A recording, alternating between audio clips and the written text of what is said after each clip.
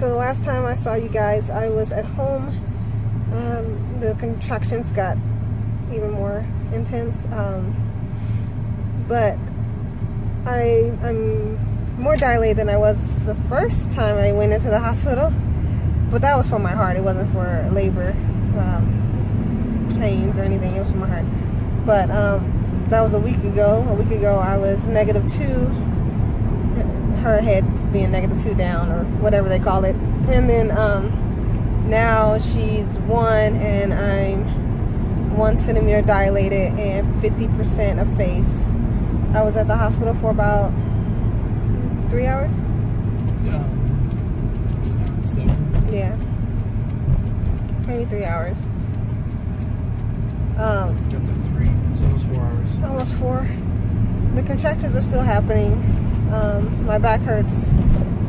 So, um, but yeah, I'd rather progress at home than progress slowly at the hospital where I can have my own bed, my filtered water, and my snacks.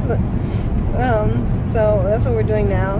We're going home. I haven't been to sleep yet, so maybe a good eight hours of sleep will help if I can. But yeah, I'll keep you guys updated. And yeah. Oh, doctor's on call Oh, and my doctor's on call for the next 24 hours, so he's not on vacation, so that's a good thing. but yeah, I'll keep you guys posted.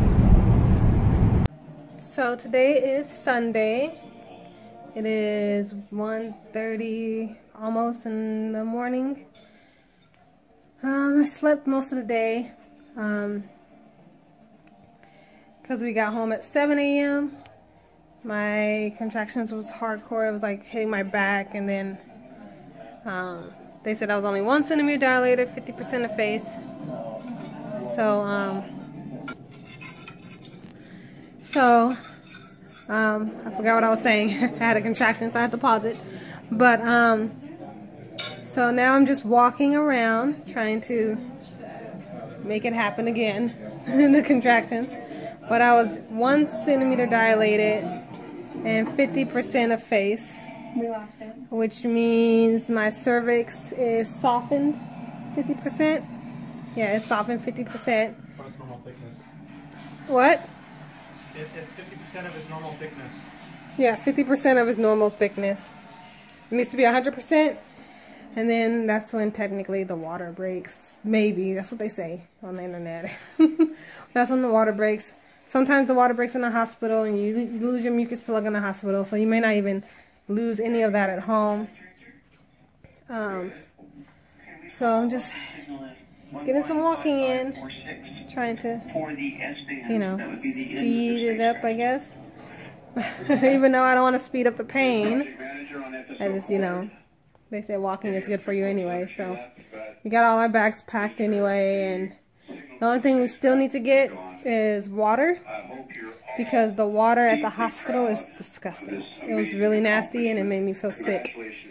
Uh, other than that, uh, I'm gonna get some lifesavers, something, something hard to have when I get thirsty and something I can focus on. Um, but yeah, I got seven more days to go, a week left. She's due January 7th. And um, so I could go all the way up until then. Could go past it. We shall see. I just hope that I don't have to get induced or have a C-section or anything like that. That would be very non, uh, non-ideal. okay, well, I'll keep you guys updated. Day seven, or seven more days. All right. Happy New Year's! I don't know how to do it. I just made noise. so happy New Year's, happy 2019, you guys. News today. I tonight going home. Lost my mucus plug, so we'll see. Now I'm in pain. Um, she didn't want to come for tax season, but it's okay. It's okay. Mama still loves you. no, but we're just waiting now, and I'm having a little pain. So, but then again, like I said, I'll keep you guys updated. Just want to say Happy New Year's, guys, and be safe. You know, and everything. I know by the time you guys get this, it probably won't be New Year's anymore.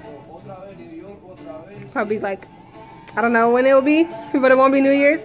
So be safe on whatever day you see this. and I hope you guys have a good New Year's. Bye.